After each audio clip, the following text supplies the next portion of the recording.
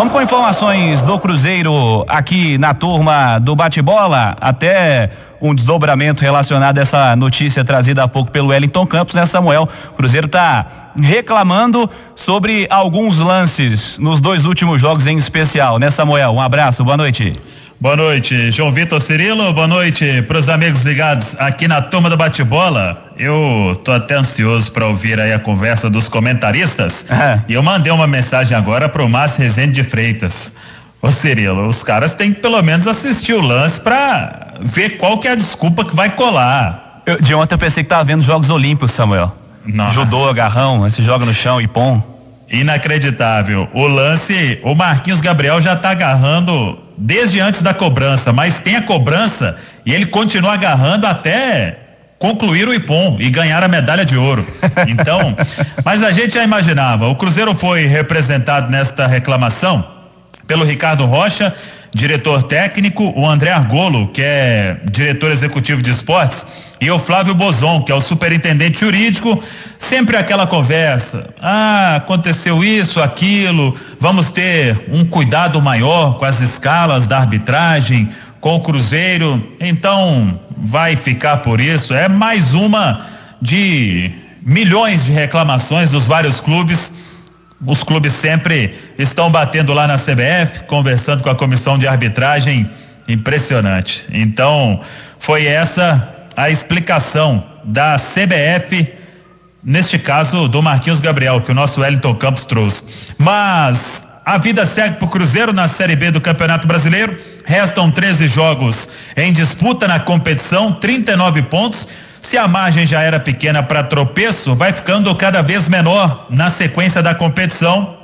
E no próximo domingo tem o um duelo contra o CSA, 4 horas da tarde. O jogo que será confirmado no Independência. O Cruzeiro voltou hoje do Rio de Janeiro. Jogadores foram liberados e a reapresentação amanhã para uma semana cheia de novo, com o técnico Vanderlei Luxemburgo, ele e o Maurício Copertino, que cumpriram suspensão, estarão de novo à beira do gramado e preparando este Cruzeiro para vencer o CSA no Independência. E antes o Cruzeiro vai secar. Se não me engano, é nesta terça que o CRB vai até Pelotas para encarar a equipe do Brasil e o Brasil está nas últimas fichas para escapar de rebaixamento, tentando aquele respiro.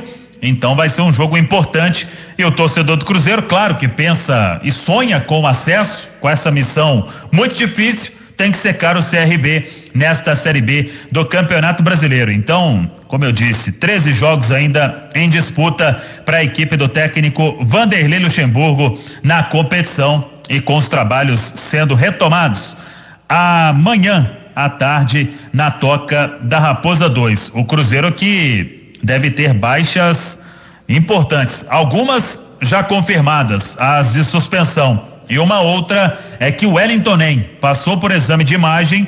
O Wellington Nem reclamou de um incômodo na coxa.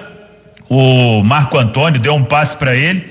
Ele nem conseguiu alcançar a bola, já parou, colocou a mão na parte posterior da coxa direita, passou por exame de imagem, Cruzeiro deve divulgar, fica fora, muito provavelmente, do jogo contra o CSA. Vamos ver para a sequência da Série B do Campeonato Brasileiro. A expectativa do técnico Vanderlei é que o Bruno José possa ficar à disposição. Vai fazer tratamento, o trabalho será para recuperá-lo, para que ele possa atuar contra o CSA se já não vai ter o Wellington nem, ficar sem o Bruno José também vai deixar a coisa ainda mais complicada pro Cruzeiro. O Marcinho, recuperado de um incômodo no pé, deve se recuperar a princípio para voltar a treinar normalmente ao longo desta semana. A semana mesmo começa pro Cruzeiro amanhã na Toca da Raposa 2. Então foi uma segunda-feira, Cirilo, de muita reflexão, pensar que aquele ponto foi até importante diante de tudo o jogo quase terminou com a vitória do Vasco e o Cruzeiro soma este empate importante para, quem sabe, buscar a vitória contra o CSA e ir para outra decisão e aí sim com o espírito de decisão mesmo, que é o jogo contra o Guarani depois do CSA lá em Campinas. Cirilo. Valeu, Samuel Venâncio. Deixa eu voltar ao Rio de Janeiro. O Wellington Campos tem informação importante referente ao Cruzeiro, confirmação de mudança de local de jogos da Raposa, né, Wellington? Isso mesmo, Cirilo. A CBF acaba de informar que será no Independência, Cruzeiro e CSA, domingo 26 de setembro, às quatro da tarde, e Cruzeiro e Brasil de Pelotas, também no Independência, no domingo, dia 3 de outubro, às 11 horas da manhã. Cirilo. É, vamos bater bola, debate com os comentaristas, com assuntos importantes a serem tratados nesta segunda-feira. Vamos pela ordem, vamos começar pelo que aconteceu, pelo que já passou, pelo que já vimos no fim de semana. Vamos começar falando desse Vasco e Cruzeiro, Cruzeiro e Vasco, que acompanhamos ontem aqui na Itatiaia. Um jogo encerrado com um gol no final da Raposa, o um empate em 1 um a 1 um. Então temos alguns temas importantes para serem discutidos relacionados ao jogo, dentro e fora de campo. Vamos começar com o campo Júnior Brasil. Cruzeiro que empata com o Vasco da Gama no Rio de Janeiro. Perdi até a reta final do confronto. Avaliação que você faz desse empate, desse duelo disputado em São Januário. Boa noite, Júnior Brasil. Boa noite, Cirilo. Grande abraço para você, Simões, Edu, amigos e amigas. Diante da circunstância, o empate não é positivo. O Cruzeiro lutou, conquistou o empate e por não ter feito um bom jogo, sobretudo no primeiro tempo, dá para ver como o copo meio cheio. Mas não resolve a vida do Cruzeiro esse empate. É, muita gente questionando, ah, o Luxemburgo errou com os dois atacantes, o Thiago e o Moreno. Eu entendo que não. Ele pagou para ver, acreditou que poderia dar certo. O Thiago com mais mobilidade. A gente tem que lembrar que quando você não tem o melhor jogador do time, você pega um Bruno José, que é um cara que faz toda a diferença, você tem que buscar outras fórmulas. E acho que ele tentou, não dá para condenar. Ele queria ver como que os dois se comportariam. Acho legal a oportunidade igual ele deu para Marco Antônio, mas não me agradou a postura do Cruzeiro no primeiro tempo.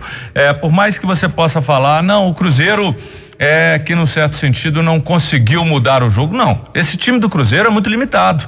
A realidade destes jogadores, e principalmente a característica péssima de finalização que eles têm, criam muito, o Cruzeiro foi o Cruzeiro com as suas dificuldades de sempre. Mas saiu um pouco da normalidade o tanto que começou tentando jogar no contragolpe no primeiro tempo. Porque no segundo tempo, quando saiu, conseguiu mudar a história do jogo. E um detalhe que não me canso de falar a luta, a garra dos jogadores cruzeirenses nessa recuperação com o Luxemburgo, a gente sempre tem que enaltecer. Ô Alexandre Simões, um abraço, boa noite para você. Pra gente falar sobre esse Cruzeiro e Vasco, Vasco e Cruzeiro ontem no Rio de Janeiro, o Júnior chamou atenção para a escalação do Cruzeiro com a presença de dois centroavantes, o Thiago e o Marcelo Moreno. O Thiago não necessariamente como um centroavante no primeiro momento, né? Mas como você observou a atuação do Cruzeiro, desde o início também as alterações promovidas pelo Vanderlei Luxemburgo ao longo do jogo. Fala, Simões. Um abraço, Cirilo, um abraço, Júnior, um abraço, Panzi.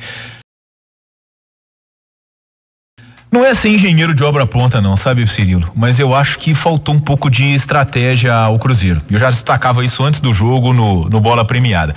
Primeiro que o Vasco foi com uma formação muito ofensiva e por isso eu acredito que o Cruzeiro precisava ter a velocidade como uma arma time um pouco mais fechado, explorando a velocidade, talvez até com a entrada do Flávio como um segundo volante e a saída do Thiago ou do Marcelo Moreno, ou o próprio Cáceres na lateral e o Rômulo no meio, mas eu acho que o Cruzeiro poderia ter explorado esse desespero vascaíno. E outro ponto, né, e, e, e que foi até destacado, é a questão de que os times do Fernando Diniz, eles têm uma saída de bola que nem sempre é eficiente, principalmente com a qualidade do Vasco. E o Cruzeiro também não se preocupou muito com isso. Ah, então o Cruzeiro foi engolido no primeiro tempo, o Fábio salvou a pátria e eu acho que isso muito porque faltou uma certa estratégia de jogo para o time iniciar em São Januário. Fábio pegou demais ontem, né? Importante destacar isso aí, três pegado, defesas né? impressionantes ele fez no confronto de ontem, lembrando os velhos tempos, né? O auge da carreira do Fábio. Edu Panzi, estivemos juntos na quinta-feira em Cruzeiro e Operário e ontem reclamações novamente, até o Wellington trazia na abertura da turma do bate-bola, reclamações também por parte do Vasco da Gama quanto à arbitragem ontem. O VAR tem chamado a atenção nesse retorno da Série B, é uma novidade, a tecnologia vem sendo eh, implantada na, na competição. Mas as falhas é que tem chamado a atenção. Cruzeiro está certo em reclamar, de fato uh, é uma reclamação necessária nesse momento, ou a preocupação principal é a parte técnica? Como você analisa esse momento, Edu? Boa noite. Um abraço, Cirilo, Júnior Brasil, Alexandre Simões, ouvinte da turma do bate-bola. Eu acho que está certo de reclamar. Qualquer um clube que se sinta prejudicado, seja ele o Cruzeiro, o Vasco, o Sampaio Correio, o Vitória, pega um avião, sei lá, pega um ônibus e vai para a CBF reclamar e protestar, só que não tem adiantado, né? Ah, clubes, eles usam sempre esse artifício de reclamar, fazem um ofício é, juntam um, um, grupinho, vão até a CBF, vai lá todo mundo e tal, tira foto, mas não adianta nada. No jogo seguinte acaba, acabam os árbitros errando novamente, pra, independentemente de qual seja o, o clube. Acho que te, teve um pênalti. Aí a opinião, a interpretação, mas para mim foi muito claro o pênalti no, no Adriano. A CBF, agora há pouco na turma do bate-bola, a justificativa é que a bola ainda, o jogo não tinha recomeçado, né? Não tinha batido o escanteio. Revi o vídeo com o Samuel aqui, não procede. Os caras estão brigando procede, com a imagem, é, né? É. Aí brigar com a imagem é, é, é, é. complicado. Ou, ou é chamar a gente de idiota, ou, ou é ser cego ou, ou, muito. É a continuidade da falta, Edu. É claro. Começou a fazer a falta Sim, antes, mas continuou fazendo. Depois a continuidade é, com a bola em jogo. A justificativa da CBF não se confirma com a imagem. Então, errou o, o hábito de vídeo, errou o hábito de campo e o Cruzeiro tem razão em reclamar e outros clubes que quiserem reclamar também é, faz parte. Sobre rapidamente, Cirilo, o, o Júnior e o Simões falaram bastante a respeito da escalação. Eu não vejo problema em escalar Moreno e Thiago. O, o, problema é a função que o Thiago teve que desempenhar no início do jogo, Ponto até os 30 quase, minutos. Né?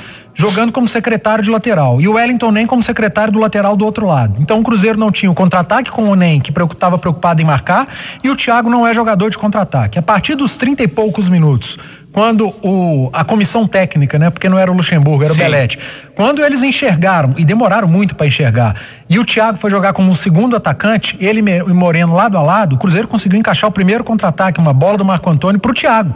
O Thiago, do meio para frente, ele vai conseguir jogar.